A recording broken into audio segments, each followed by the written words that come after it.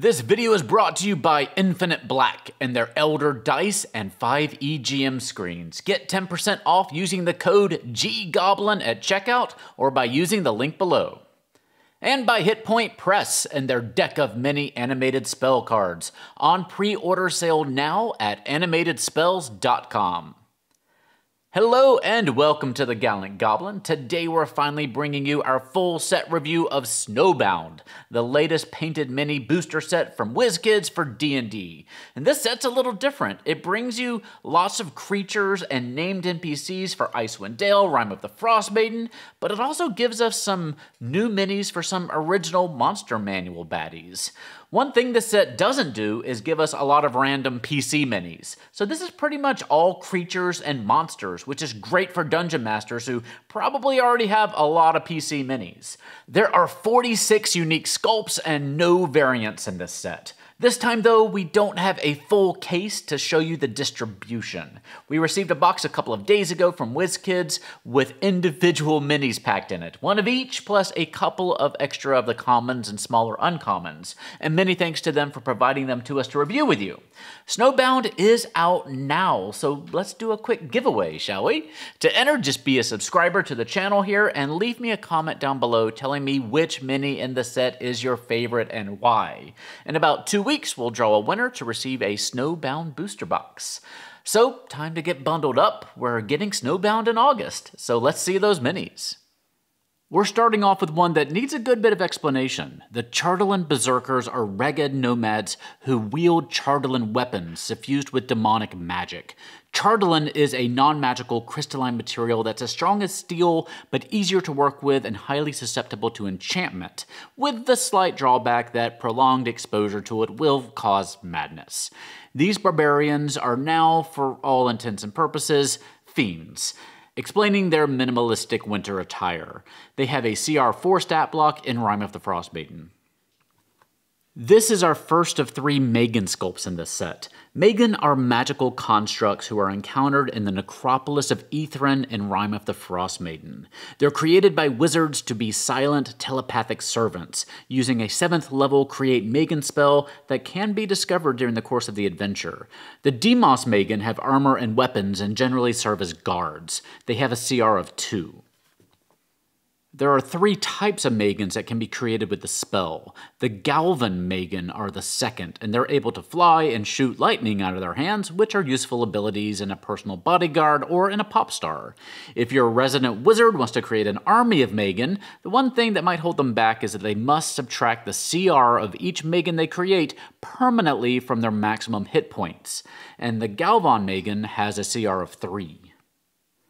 The Hypnos Magen can cast the Suggestion spell at will. If it doesn't work, they aren't armed with armor or weapons, so they're fairly easy prey to foes, though they can lash out with their mind to cause some psychic damage. Apparently, wizards would use the Hypnos Magens to force their foes to surrender or withdraw, and hopefully they had a plan B if those enemies met the DC 12 saving throw. The Hypnos Magen have a CR of 1. So this one is interesting. The Mini is a common medium-sized creature with the name Skeletal Sentinel, though it's clearly based on this art from the book entitled Frost Giant Skeletons Guard the Way to Queen Vasavictin's Frozen Tomb. So for whatever reason, they took the Frost Giant skeleton art and made it into a standard humanoid skeleton instead, possibly because we have a Frost Giant skeleton mini in the actual Rime of the Frost made mini set. I'm perfectly fine getting more skeleton minis though. I'll probably get more use out of it that way anyway. This one is pretty dark. You're probably familiar with the Duergar, basically the evil Underdark dwarves. There's Underdark versions of most races. Well, when one gets out of line, they'll force them into these hammerer contraptions, which torture the poor Duergar and then are powered off of their pain to do more mining. When you're attacking the hammerer, you can attack the machine or the creature inside of it. It has a CR of 2. Most of the monsters in this set are drawn from two places. Icewind Dale, Rime of the Frost Maiden is one, obviously, but the set also brings us more minis from creatures in the monster manual, like the Psychic Grey Ooze here, though the mini is pretty much black. This kind of ooze is old, so old that it's evolved on its own to become intelligent, and it's developed limited psionic powers. This tends to happen when the oozes live near psionic creatures like the Mind Flayers. They have a CR of one half. Come on, it's a baby griffin. If you have a player who wants a pet that can grow one day to become a mount, having a griffin hatchling mini to serve as a personal Tamagotchi is fantastic. In Chapter 2 of Rime of the Frost Maiden, you can find instructions on how Goliath PCs can attain and bond with a griffin baby, and there are multiple stat blocks to use for this little guy as he ages. And you can also just use these rules as a template to design your own pet mechanics. Myconids, who are basically sentient ambulatory fungi from the monster manual, get a lot of love in this set, starting with the basic Myconid adult figure here. They're pretty interesting creatures who abhor violence and live in little communes where they essentially get high on their own spores. The adult here has a CR of one half. Do keep them out of the sun though if you want them to stay healthy. The bullywugs will forever be the D&D creatures who seem too cute to be evil, but evil they are though I think they can be evil in a pretty fun way. They're almost cartoonish in their evil, obsequious ways. They consider themselves the kings and queens of the swamp and give themselves grand titles that you can certainly have a lot of fun with. They then fall over themselves, bowing and kowtowing to their superiors while ordering around their inferiors in their strange little hierarchies. They appear in the monster manual with the standard bullywug having a CR of one quarter. Like the Myconids, the bullywugs get some love in this set as do the Mephits, who are little mischievous elementals who come in six varieties, each one representing the mixture of two elements. The Dust Mephit here is a combination of earth and air. They're primarily found on the elemental planes, but they sometimes wander over to the material world to cause some trouble. The Dust Mephit can put people to sleep and blind them with a puff of, well, dust. They have a CR of one half in the basic rules. Ice Mephits represent water and air and have a chilly, cold personality to boot. While most Mephits are evil little tricksters, the Ice Mephits are just cruel. They can cast Fog Cloud once a day and have a freezing breath that just plain hurts. If you end up fighting Auril during Rime of the Frost Maiden, she may summon a couple of Ice Mephits to keep you distracted, so having some of these minis by your table would be a good idea. They have a CR of one half.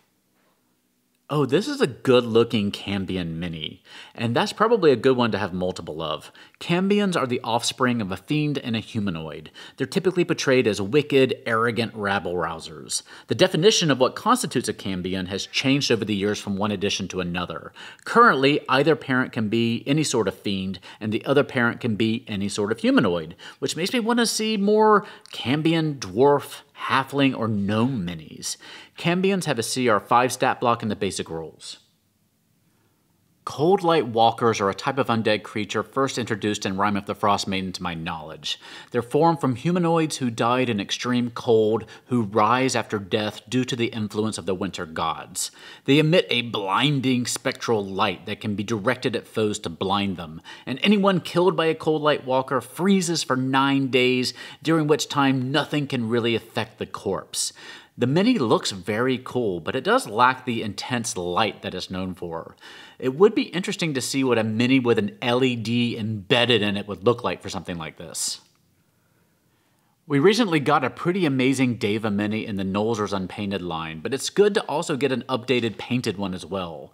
Devas are the errand boys and girls for the Celestials. They travel to other planes, assume a form that'll blend in, and then deliver a message or complete a task set forth for them by the angels.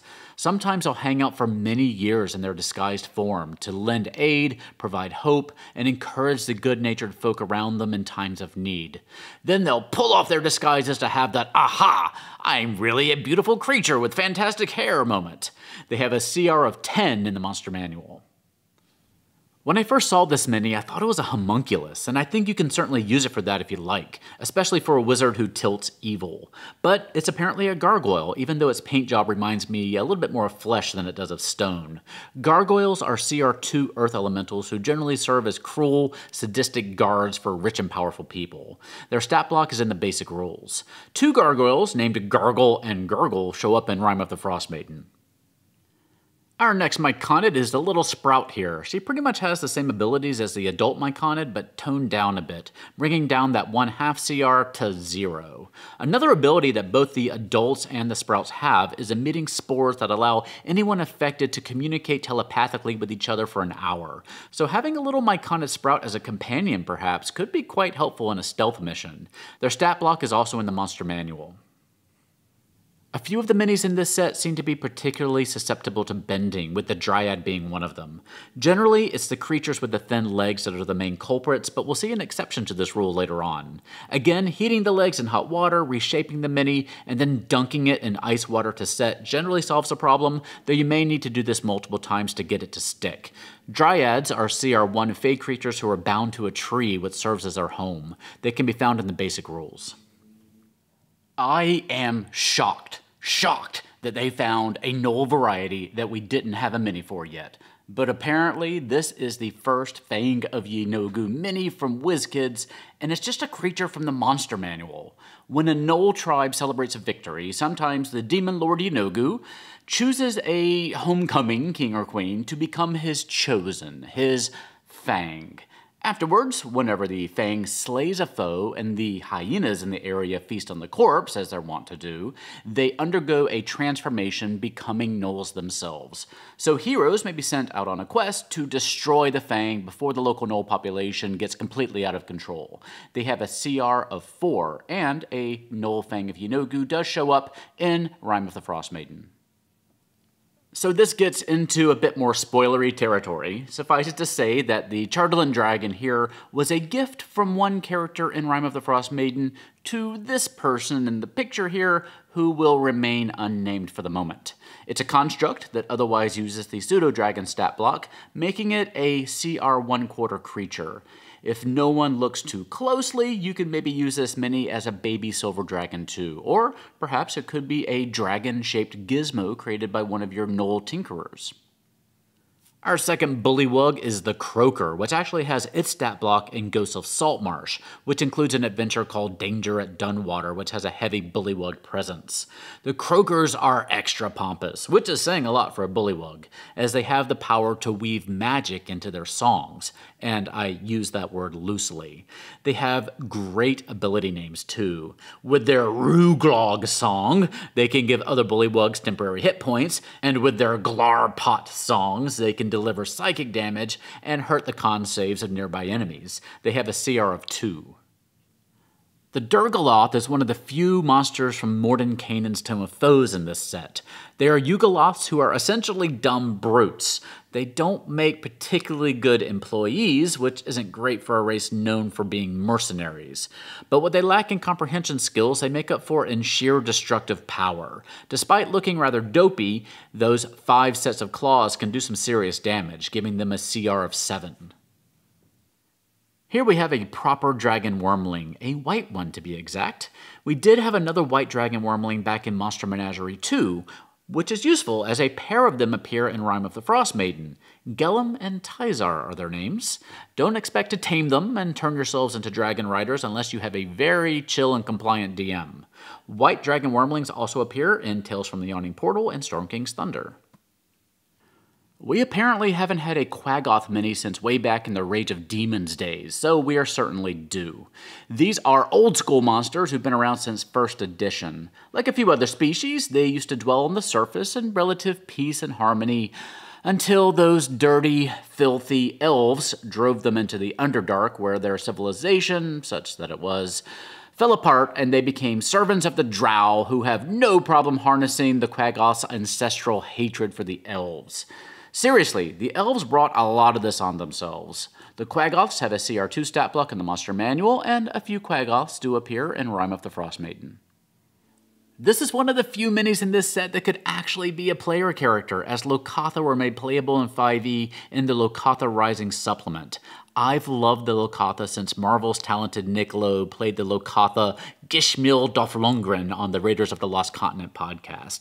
They're a downtrodden, good-hearted, compassionate race. I highly encourage you to check them out as a PC race, though be aware that they weren't as thoroughly play-tested as most of the D&D content is. Another foe that you may encounter in Rime of the Frost Maiden is the Ice Troll. As much disdain as I have for gnolls, I have the opposite amount of love for the Troll. Troll's natural regeneration from all but fire and acid give designers a lot of space to create unique and compelling varieties to challenge players. The Ice Troll, though, doesn't bring a lot to the Troll table. He does some additional cold damage and has a damaging cold aura that extinguishes flames. That all gives him a CR of 8. I think they could be interesting in a challenge that involves having to keep them away from a vitally important signaling bonfire or something, perhaps. The best thing about them is that their hearts have special properties and uses that I'll leave you to discover on your own. Their stat block is in Rime of the Frost Maiden. Rime of the Frost Maiden also brings us a new variety of mimic, one who spits acid, which is really just rude when you think about it. He's also larger than your average Mimic, with a large size base, and he has stronger stats, making him a CR5 creature as opposed to the standard Mimic with a CR of 2, giving you the option of bringing that fun Mimic encounter into the mid game.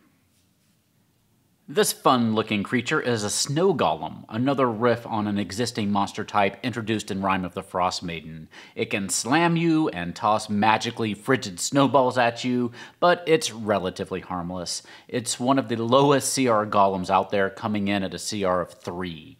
It has the immutable form of most golems, meaning you won't be able to turn it into a parakeet, but it's not resistant to magic as some golems are. In fact, if you light a fire underneath it, it starts to melt. This fellow is scaled up to a large from its medium size in the stat block. Hey, it's a polar bear, which brings together our two main themes of the set, neglected monster manual stat blocks and creatures that you can use in Icewind Dale. Previously, we had an unpainted polar bear in the Nolzur's line, and a different sculpt of a painted polar bear in Spell Effects Wild Shapes and Polymorph Set 2 by WizKids. You can see our review of that set in the eye up there. This is a summonable creature using the Conjure Animals or Conjure Fey spell, and it has a CR of 2. I'm shocked that it took them this long to make an Axbeak mini, as they're kind of the mascot creature of Icewind Dale. As the land is a bit harsh for your average horse, many folks use a native Axbeak as a mount to get around between the 10 towns. You can purchase a domesticated one for 50 gold pieces, summon one from a tan bag of tricks, or summon one using the same Conjure Animals or Conjure Fey spell. They have a CR of one quarter. I always get the Fomorians confused with the insectile Formians, who aren't even in 5th edition, I don't think. They are big in Pathfinder and Starfinder, though. The Fomorians, like this fella, used to be wise and handsome, but rather power hungry. They attempted to overthrow the Feywild and failed, getting cursed into this form in the process. And they can pass this curse along to others with their own evil eye. One thing, though, this is another mini that's inexplicably prone to bending, at least mine was. I was pretty surprised to see another Hill Giant mini in this set. Between Storm King's Thunder and Monster Menagerie 3, we've already had quite a few Hill Giant minis. If you're looking to get some new stat blocks for your various Hill Giant minis, Against the Giants in the Yawning Portal book and Storm King's Thunder will both give you a few TVA-approved variant mini blocks to keep things interesting with these big bruisers. The standard Basic Rules Hill Giant has a CR of 5. Let's take a look at this new Hill Giant next to our previous ones. This one's quite different, almost svelte compared to his brothers and sisters here. He could almost be an adolescent hill giant. I didn't quite realize how different they looked until I put them all together. We also get a new Stone Giant mini, but this one is much more aligned with the previous models than the Hill Giant was. Stone giants are contemplative, true neutral artisans and artists generally, perhaps the most alien of the giant clans, and they certainly look alien too. Role-playing a stone giant is a bit of a challenge, I think, because they see the world outside their own caves as ethereal and dreamlike, so keep that in mind when they show up in your adventures. Their CR7 stat block is also in the basic rules. This fellow fits in right alongside our other Stone Giant minis. Again, I'm surprised we got another Stone Giant in lieu of other huge creatures that we probably could use more minis for. But this is a good sculpt, and giants are pretty ubiquitous, so there are worse choices. The big surprise in this set is this, the Warforged Titan, a creature from Eberron rising from the last war. These huge-size CR8 constructs were modeled after the war machines made by giants centuries ago.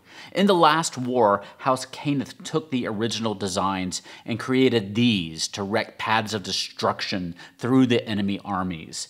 They are sentient, barely, with an intelligence of 3, but that's enough to follow simple orders. Let's take a hard left back to Icewind Dale Rime of the Frost Maiden. as the next few rare minis represent named NPCs in the adventure, and I'm going to be very vague in these descriptions to keep from spoiling anything for you. Maud Chiselbone, as her name and appearance may imply, is a hag, specifically a lake hag, which doesn't have its own stat block in 5e, so they use the sea hag stat block instead. She comes with a cauldron that's actually unattached from her base. This is quite useful for two reasons. One, you can always use the cauldron for other setups like encampments or tavern kitchens. And because the cauldron is a rather important magical item in the Rime of the Frost Maiden adventure, you may want to recover it from Maud. This is a Verbeeg, which is a humanoid looking giant giantkin that's making its 5e debut here in Rime of the Frost Maiden. They are generally evil marauders who rob people who have the misfortune to be in the wrong place at the wrong time. They can often be found near hill giants and ogres and will often be leading their bigger cousins in battle as they make up in wits what they lack in stature. This mini is on a medium base here, but its stat block indicates it's actually a large sized creature, which makes sense for a giant giantkin they have a CR4 stat block. So I can't tell you too much about this figure. He's a rather funky looking goblin for good reason. If you're using this mini outside the campaign here, he can certainly be a warmly dressed goblin. If you are playing Rime of the Frost Maiden, you'll hopefully learn a lot more about him as you play, but all I can tell you now is that he has a quite interesting story and a good stat block. Grandolpha Muzgardt is the Grand Dame of the local Duergar clan who plays a role in the Frost Maiden story. As mentioned earlier, she's the one who has the Chardalyn pseudo-dragon pet that's also included in this set. She's a cunning foe for folks who find their way to her naughty list, which, let's be frank, is just about everyone. And if you have some Underdark adventures of your own with some Duergar enemies, she'd be a good mini to add to the mix, and Mordenkainen's Tome of Foes gives you a ton of stat blocks that you can use with her. Well, here we have a regular old sea hag. As you might guess, with her thin legs, she's another one that's prone to some bending. We had an unpainted sea hag in the Nolzur's line, and our last painted one was in Monster Menagerie 2, I believe. Sea hags are CR2 creatures from the basic rules who show up in more than a few adventures. They hate things that are beautiful and want to either possess or deface them.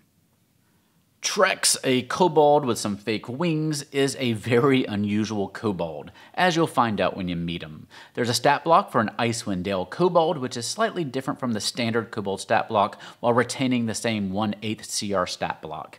Snowbound was originally intended to have a mini of three kobolds in a trench coat, which would have been undoubtedly popular, but that mini is being held for a future release, so stay tuned to our Discord server for updates on that. Ravison here is one of the only other minis in the set that could conceivably be used as a PC mini. In actuality, she's a Frost Druid in the Frost Maiden adventure. Frost Druids seek to preserve the Arctic wilderness from outsiders by patrolling in animal form and attacking when they have an advantageous position. They're often accompanied by awakened creatures that they created. Frost Druids have a CR of 5. Our last Bullywug mini is the Bullywug Royal, whose stat block is also in Ghosts of Saltmarsh. The Royal is the largest and smartest Bullywug in the tribe, and usually the best dressed. They come striding into battle atop giant toads, and honestly, where's our Bullywug riding a toad mini? I mean, the Frost Giant riding the Mammoth was a cool premium figure for the set, but the Bullywug on a toad is where the money is. The Royal has a CR3 stat block. Okay, there isn't much I can tell you about this character either without spoiling Frost Maiden at least a little bit. So if you want to stay squeaky clean from spoilers, I suggest using the timeline down below to skip ahead to the Myconid Sovereign. If you're still here with me, Veneranda here is basically a head in a jar affixed to the body of a helmed horror without the helm, both of which are separate creatures. The head in a jar is a CR3 creature with its stat block in Frost Maiden, and the helmed horror is a CR4 creature in the Monster Manual. There aren't too many minis who essentially represent two different creatures. This creature is in a larger base than what you normally get for a regular helmed horror. Our last Myconid is the Sovereign. Still not a particularly strong creature with a CR of 2, but she does have a very powerful ability. She can bring creatures back to life as spore servants. They're essentially plant zombies without their original personalities. The monster manual has a template that you can apply to whatever creature is brought back this way to represent their particular animated spore servant form. So it could make for a very interesting little story twist, and a sovereign named Plurota does appear in Rime of the Frost Maiden.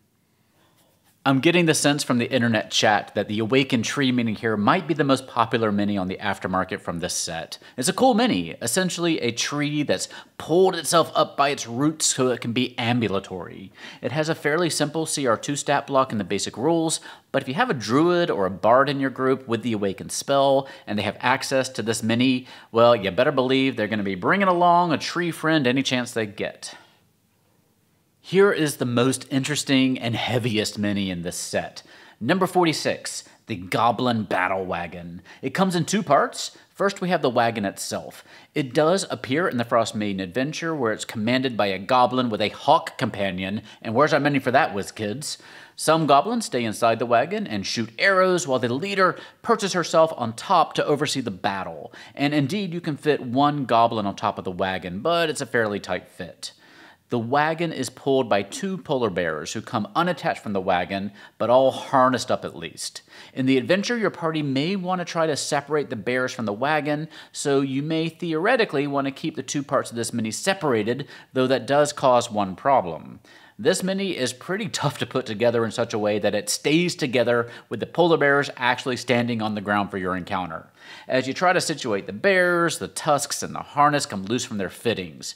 But there is one way to solve this particular problem. If you just glue the tusks and the harness to the wagon with super glue, as I did here, things hold together pretty much just fine. It's still a little bit tough to get the bears perfectly situated on the ground as the harness itself is pretty stiff, but you can make it work. This is an ambitious mini, and I love seeing WizKids trying creative things like this. This is certainly a mini that you can use to make your own goblin or maybe your kobold encounters much more interesting in and outside of Icewind Dale. In these videos, I like to show the various warbands that most sets provide if you end up getting a brick or a case. In our situation, we didn't get a proper brick or a case, so we can't show you with accurate numbers what kinds of warbands that you can expect to build from your purchase. But let me show you the Myconids and the Bullywug minis together at least, so you can get a sense of how they compare. We did end up getting quite a few duplicates of most of the commons and uncommon minis in our little box, so you can get some semblance of a warband together here.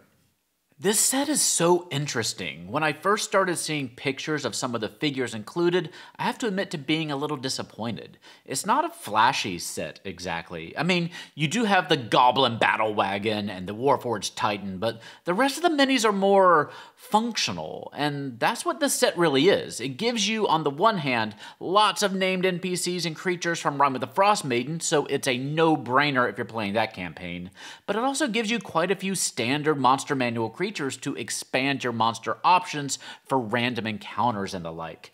Personally, I'm just so happy to get a Locathah mini and an Axebeak, and the Mephits are always useful, and come on, the Bullywugs and the Myconids are great creatures for storytelling. The Magens can be a lot of fun if your high-level wizard decides to make some servants, and the Griffin Hatchling is ready for those players who want a pet.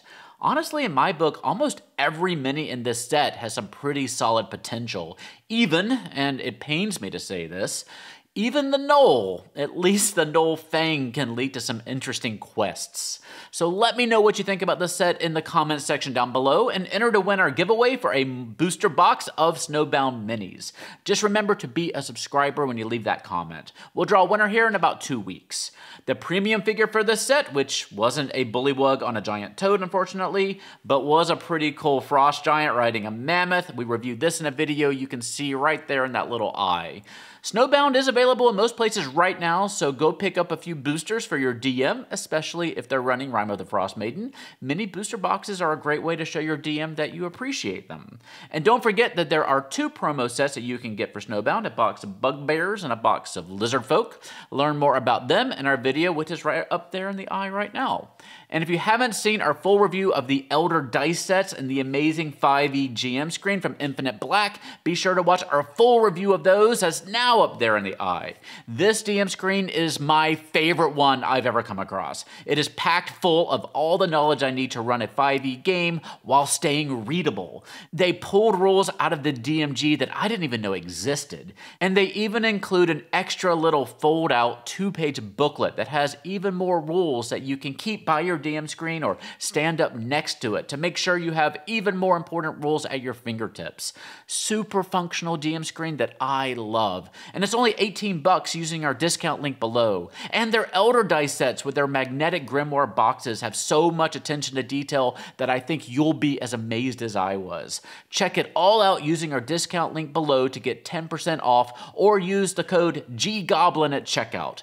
There are some beautiful dice, that GM screen, and even some cool D2 coins and more. Go check the link. I promise you won't be disappointed.